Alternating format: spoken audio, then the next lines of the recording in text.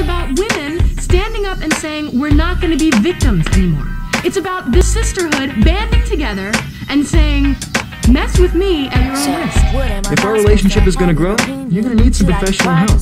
You have the nerve to talk about ethics after you try and harass me into going out with you?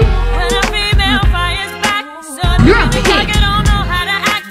You go tell the rest of the Geek Squad and anyone else you see those rumors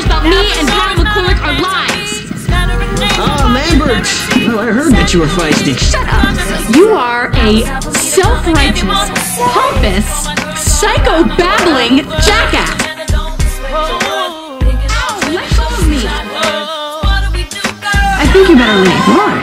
Because I don't like what's happening here. Come on, Dana, knock off the little girl act. You want to see a big girl? How's this?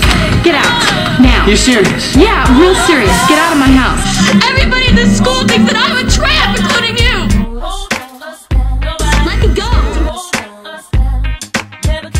Am I alone in the struggle against sexism? He tried to put his big, ugly paws all over me, so I called him a pig and got out of the car.